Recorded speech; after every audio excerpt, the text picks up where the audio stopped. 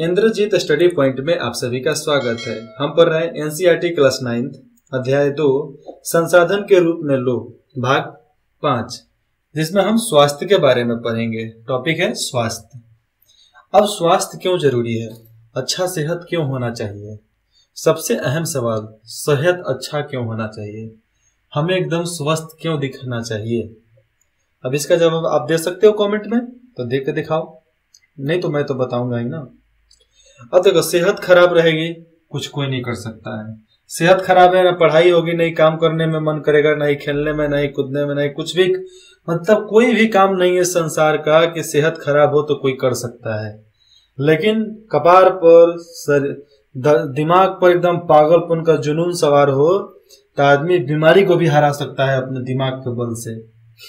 अब मेरे को कभी कभी होता क्या है, मैं तबीयत खराब भी रहता है ना तो हम ऐसा काम करते हैं, हम रेस्ट करने वाले इंसान में से नहीं है।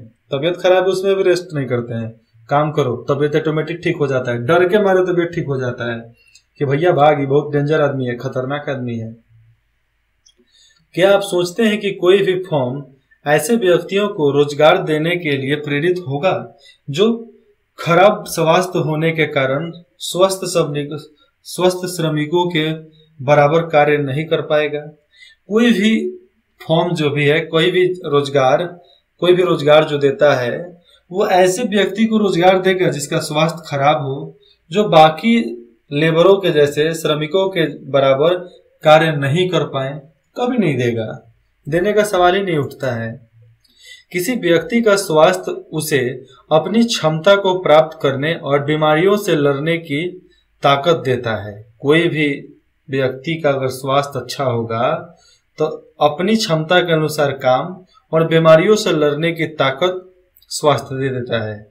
अच्छा स्वास्थ्य रहेगा तो शरीर लड़ लेगा। आजा भैया, लड़ लेंगे हम। ऐसा कोई भी अस्वस्थ स्त्री या पुरुष संगठन के संग्रम, संगठन के समग्र विकास में अपने योगदान नहीं दे सकते। अब देखो, जो भी व्यक्ति किसका कोई मतलब जिसका स्वास्थ्य खराब हो नीचे आप देख सकते हो, स्वास्थ्य की जाँच के लिए एक पंक्ति में खड़े हुए बच्चे। शिशु मृत्यु दर से अभिप्रिय एक वर्ष से कम आयु के शिशु की मृत्यु से है। जन्म दर से अभिप्राय एक विशेष अवधि में प्रति एक हज़ार व्यक्तियों के पीछे जन्म लेने वाले शिशुओं की संख्या से है। जन्म दर और मृत्यु दर अभिप्राय एक विशेष अवधि में प्रति एक हज़ार व्यक्तियों के पीछे मरने वाले लोगों को मृत्यु दर बोलते हैं। जन्म दर, जन्म लेने में मर गए, मृत्यु दर, मरने, मर गए, मृत्यु दर बाद में मरे, शिशु मृत्यु जो पैदा लेते मर गए, काम खत्म। और शिशु मृत्यु लोग भ्रूण हत्या कर देते थे मतलब गर्भ में ही बच्चे को मार देते थे। लड़की है, मार दो। ऐसी स्थिति चलती थी पहले के समाज में। आज भी बहुत जगह पर ऐसा है। यहाँ पर देखो क्या पढ़े थे। समग्र विकास में अपने योगदान को अधिकतम करने में सक्षम नहीं होगी।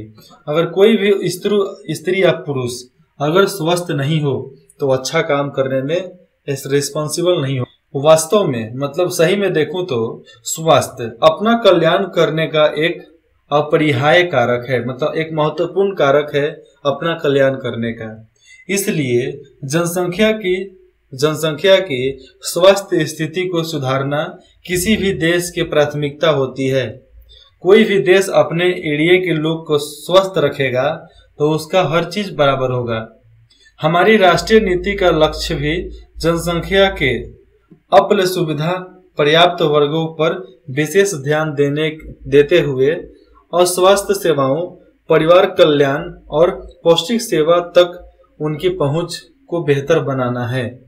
हर चीज़ को बेहतर बनाना पड़ेगा। जैसे हमारी राष्ट्र की नीति ये है कि जनसंख्या को अच्छी सुविधा देना अच्छा स्वास्थ्य सेवाओं को देना, परिवार कल्याण के लिए ज़रूरी सूचना देना, पौष्टिक सेवाओं तक उनकी पहुँच को बेहतर बनाना ये राष्ट्र की नीति है। राष्ट्र को करना है। लेकिन राष्ट्र करती नहीं है। लोग ऐसा ही रोजी रोटी के लिए मर रहे हैं। पिछले पाँच दशकों में भारत ने सरकारी और निजी क्षेत्रों में प्राथमिक द्वितीयक तथा तृतीयक सेवाओं के लिए अपेक्षित अपेक्षित एक विस्तृत स्वास्थ्य आधारित संरचना और जनशक्ति का निर्माण किया है। ये केवल किताबों में ही दिखेगा, बाकी जगह पर नहीं दिखेगा। अरे, पहले की जनसंख्या सौ करोड़ थी ना? 110 करोड़ 105 करोड़ थी। अभी जनसंख्या 25 करोड़ 30 करोड़ बढ़ गई है। 30 करोड़ बढ़ने का मतलब समझते हो 30 करोड़ लोग। जो जनसंख्या 30 करोड़ बढ़ गया है तो उन जनसंख्या को तो गिनो। नौकरी तो बस इस, बाकी लोगों के लिए मिला है, और ये 30 करोड़ तो बर्बाद हैं। तो ये 30 करोड़ के लिए सोचना पड़ेगा। उनकी उपायों को अपनाने से जीवन प्रत्याशा बढ़कर मतलब जीवन में परसेंटेज को प्रत्याशा कोशिश और जो मिल रहा है, उसको वो बढ़कर वर्ष 2014 में अड़सठ दशमलव तीन वर्ष अधिक हो गई है। शिशु मृत्यु दर इक्यावन से एक से घटकर 2016 में 34 पर आ गई है। इस सुविधा में अशोधित जन्म मृत्यु दर बीस दशमलव चार और मृत्यु दर छह दशमलव चार पर आ गई है। कम हुआ है। क्योंकि अभी बहुत ज़्यादा इंजेक्शन टीका का चल रहा है। जीवन प्रत्याशा में वृद्धि। जीवन में वृद्धि एक बहुत बड़ा लक्ष्य होता है। वृद्धि और शिशु देखभाल में सुधार देश के आत्मविश्वास को भावी प्रगति के साथ आकलन के लिए उपयोगी है। आयु में वृद्धि, आत्मविश्वास के साथ जीवन की उत्तम गुणवत्ता को सूचक है। उत्तम गुणवत्ता का सूचक है। शिशु की शिशु की संक्रमण से रक्षा तथा माताओं के साथ बच्चों की देखभाल और पोषण सुनिश्चित करने से शिशु मृत्यु घटती है। अब देखो, महिलाओं के संक्रमण, शिशु का संक्रमण जो होता है, महिलाओं से भी होता है। तो महिलाओं की कुछ बीमारी का इलाज कर दो और शिशुओं में होने वाले, बच्चों में होने वाले संक्रमण से रक्षा के लिए माताओं के साथ बच्चों की देखभाल करने के लिए जागरूकता बढ़ा दो। पोषण सुनिश्चित करने के लिए जब पोषण सुनिश्चित होगा तो शिशु दर अपने आप कम हो जाएगा। अगर माँ होशियार तो बच्चा भी एकदम फरहर, एकदम परफेक्ट होगा। एकदम आया डाउनलोड हुआ डिलीवरी हो गया। इंटरनेट सिस्टम मत समझ लेना। सारणी, आइए चर्चा करें। सारणी दो दशमलव दो को पढ़े और निम्नलिखित प्रश्नों के उत्तर दे। उन्नीस से 2015 तक औषधालय मतलब दवाखाना की संख्या में कितनी प्रतिशत की वृद्धि हुई है? इसका जवाब आपको मिल जाएगा, इसी में नहीं मिलेगा, नीचे शायद मिल सकता है, कहीं ना मैं पढ़ा था।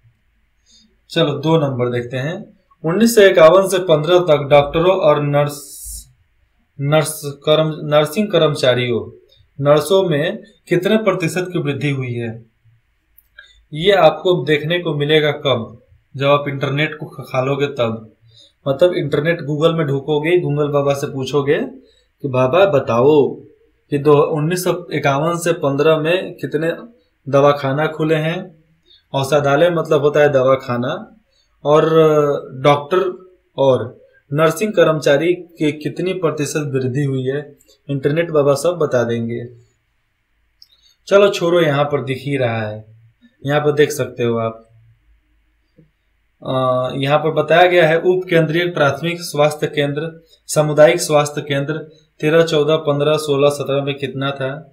औषधालय अस्पताल, ये भी देख सकते हो। बिस्तर, सरकारी सरकारी अस्पताल में, ये भी देख सकते हो। भारतीय चिकित्सा परिषद में पंजीकृत डॉक्टर, नर्सिंग नर्स कर्मचारी और A N M, R N M, R M L L H V ये सब के बारे में आप यहाँ पर थोड़ा सा डाटा मिल जाएगा। बाकी डाटा को आप निकाल सकते हो इंटरनेट से। कहा मिलेगा? स्वास्थ्य एवं परिवार कल्याण मंत्रालय के पोर्टल पे जाइयो। वहाँ पर पीडीएफ को डाउनलोड कर लो। क्या आपको लगता है कि डॉक्टर और नर्सों की संख्या में वृद्धि पर्याप्त है? यदि नहीं तो क्यों? इसके बारे में किसी अस्पताल में आप और कौन सी सुविधाएँ उपलब्ध करना चाहेंगे? कोई भी अस्पताल है, उसमें और कौन कौन से सुविधा को उपलब्ध करवाना चाहेंगे आप?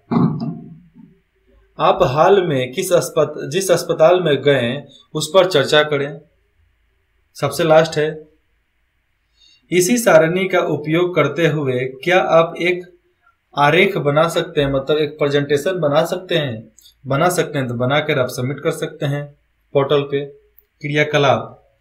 आप निकट के किसी सरकारी या निजी अस्पताल में जाएँ और निम्नलिखित विवरण नोट करें।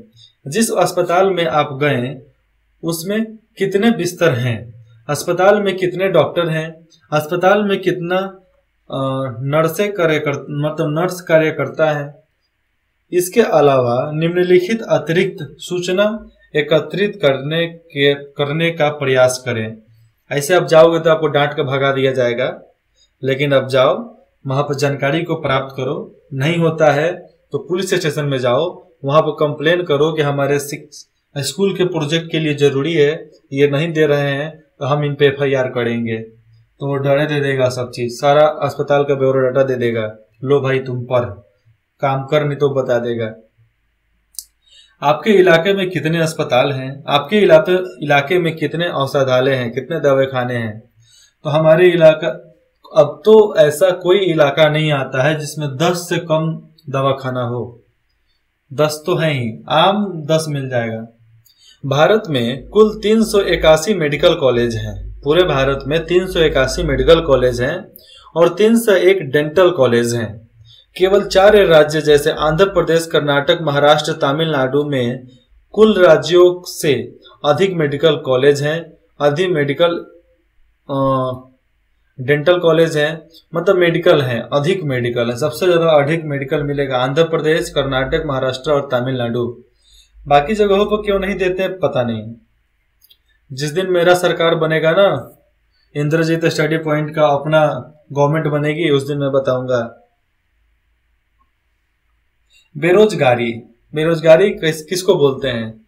अगर करने को कुछ काम नहीं हो, पैसा कमाने के लिए दो दो वक्त का रोटी खाने के लिए कुछ काम नहीं दिया जा रहा है, काम मिल नहीं रहा है, नौकरी नहीं मिल रही है, उसी को बेरोजगारी बोलते हैं।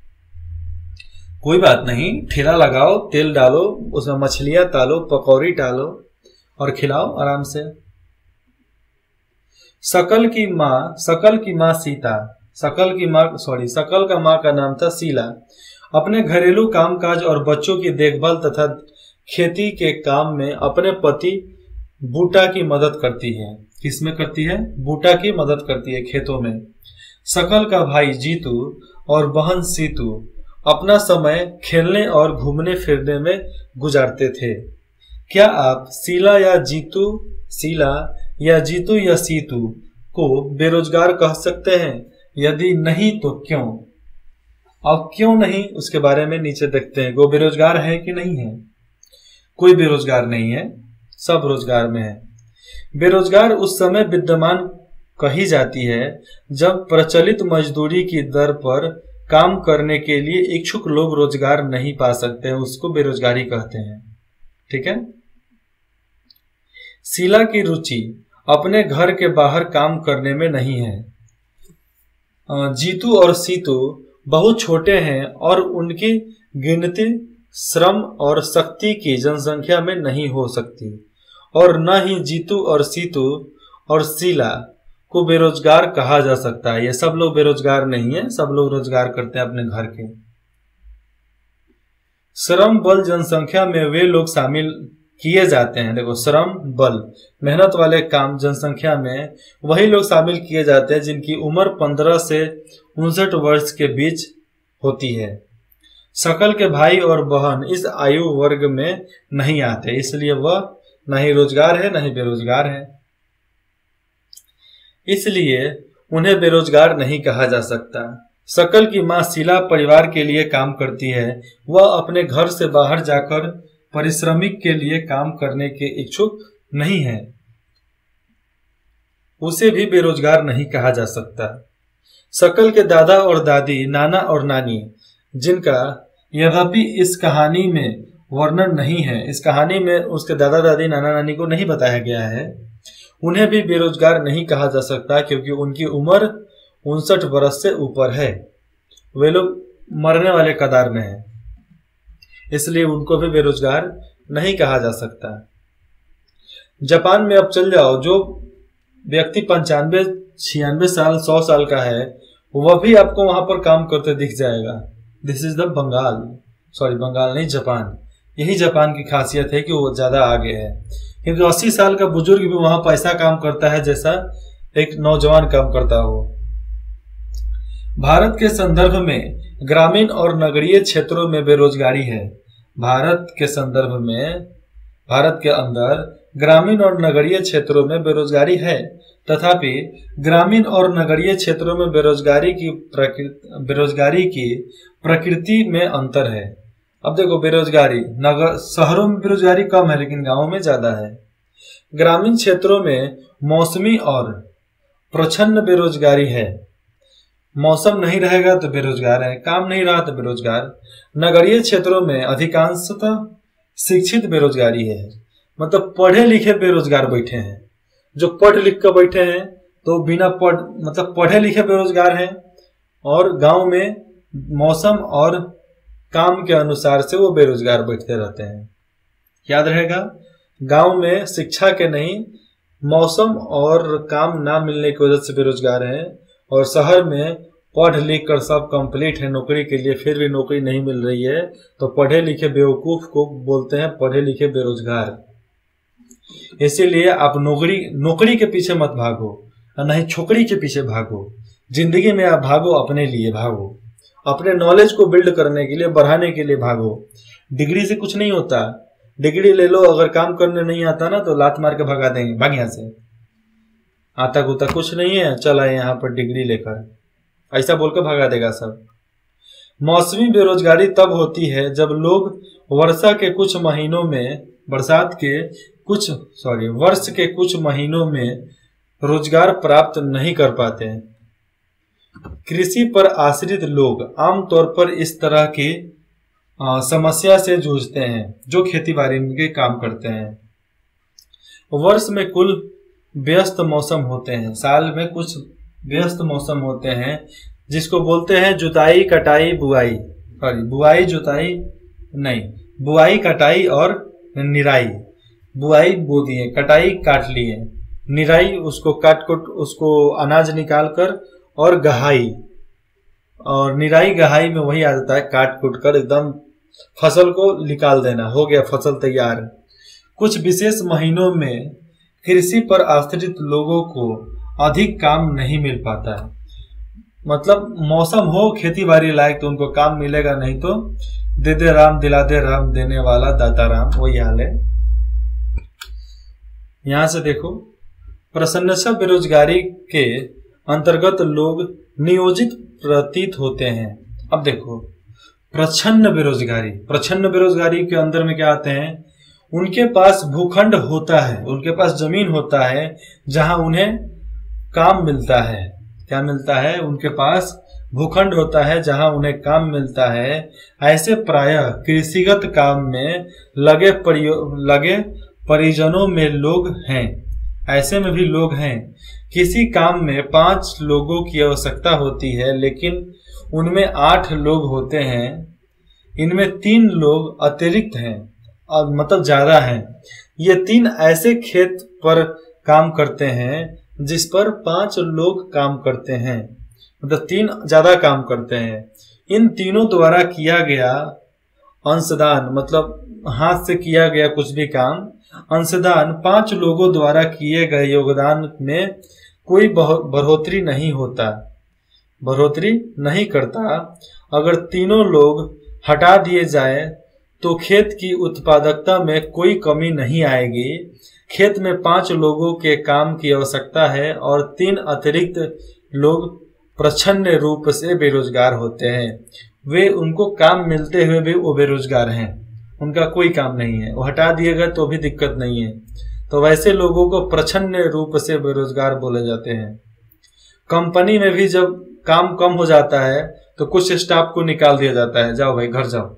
ज़रूरत नहीं है आप रहने का। तो उन्हीं लोग को प्रछन्न बेरोजगार बोलते हैं। अब इसके आगे पढ़ेंगे हम शहरी क्षेत्रों के मामले में शैक्षित बेरोजगारी, जिसके बारे में हम अगले अगले भाग में पढ़ेंगे, क्योंकि इसमें बहुत लंबा हो गया। आप बोर हो जाओगे, सोने लगोगे। तो सोना नहीं है, पढ़ना है, दिनों रात पढ़ना है। कोई गारंटी नहीं है कब तक पढ़ना है, लेकिन हमेशा पढ़ना है। इंद्रजीत स्टडी पॉइंट में जुड़ने के लिए आप सभी का धन्यवाद। कुछ भी डाउट हो कमेंट हो, कुछ भी हो, आप मैसेज कर सकते हैं कमेंट कर सकते हैं।